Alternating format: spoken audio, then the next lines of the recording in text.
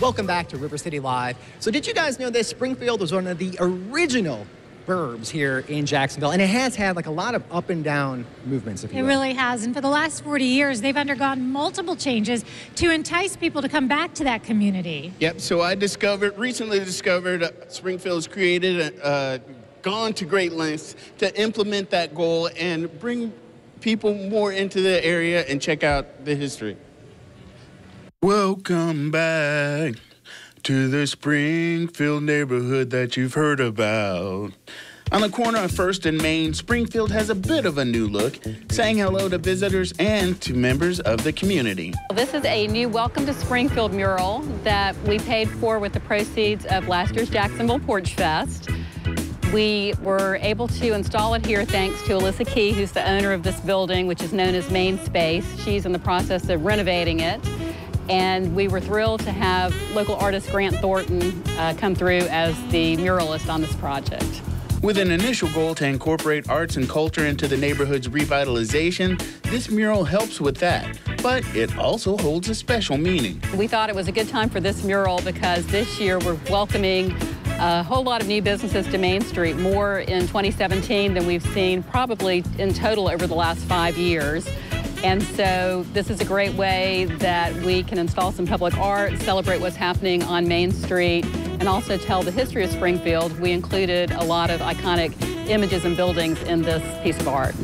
If you don't know what those historical or Springfield references are, the tutorial begins now. We have our uh, 1869 sign, which shows the date that Springfield was established as Jacksonville's first subdivision. Gimme, gimme more. We have the Klutho emblem that represents Spar, but, but also Henry Klutho used to um, show people that he had designed a particular building. One of his buildings is featured, the Klutho Apartments that are now home of Operation New Hope, and several other well-known houses, including the Drew Mansion that sits on Klutho Park.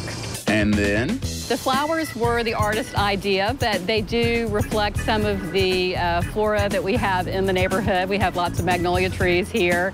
Uh, he also added some palm trees. Uh, he added some Canadian geese. In case you haven't noticed, we have a lot of Canadian geese who love Klutho Park so much they stay there all year long. They don't migrate. And uh, then he also added a couple of chickens after some of our neighbors uh, reminded us about the uh, pack of feral chickens that roams around Springfield just around the corner from here. So those were added to the mural as well. nice. Besides adding the aforementioned new businesses, SPAR has even more activities planned for the neighborhood that will definitely make visiting worthwhile. An event that will start in 2017 in April, second Sundays in Springfield. We'll be back in Klutho Park, another free event featuring uh, not the 25 bands we have at Porch Fest, but one or two great local bands every month, along with food trucks and some other vendors. It'll be a family-focused event, and it's co-sponsored by the City of Jacksonville's Parks Department, so they'll have some recreational activities going on at the same time.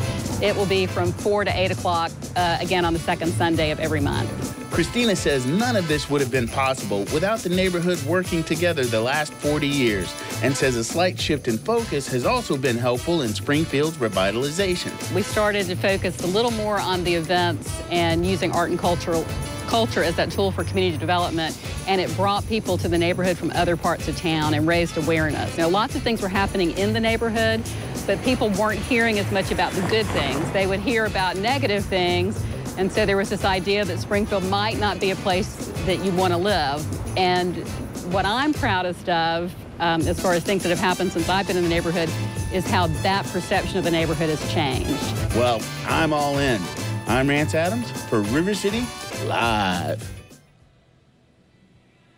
All about the arts and culture that- uh, down there in Springfield. So they're having an event Friday to dedicate the mural. It's going to have the artist, and Wayne Wood's going to be there discussing the history of the neighborhood. Great family event. Go out and show your support. Well, there you go. A lot going on. If you want to learn more about Springfield and all the events coming up, go to our website, rivercitylivetv.com. Just click the As Seen on River City Live. And we'll be back with more from the Avenues Mall.